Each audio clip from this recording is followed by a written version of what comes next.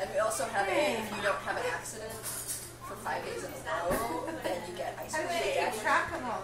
Smiley faces and stickers. Stickers are your best.